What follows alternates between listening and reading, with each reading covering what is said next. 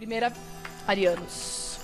Ares, boas notícias vindo nos relacionamentos. É importante que você aceite as boas notícias e as boas novas e também preste atenção um pouco no que é dito a você, né? Não, não, não leve para as entrelinhas, não. Tá? Aceite às vezes, de repente é uma bronquinha, uma coisinha, um chamadinho, mas que vai fazer com que você entenda as possibilidades legais, as coisas boas que estão vindo até você, tá?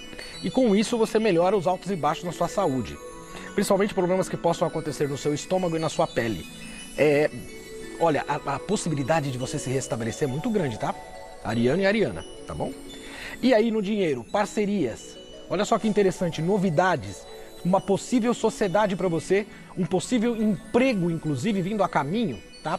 Com muita prosperidade, muita prosperidade mesmo. Aproveite isso. Se você está de repente iniciando um negócio, é o momento de você também buscar as parcerias necessárias e saber separar o joio do trigo. Maravilha, uma ótima semana para você, Ariano.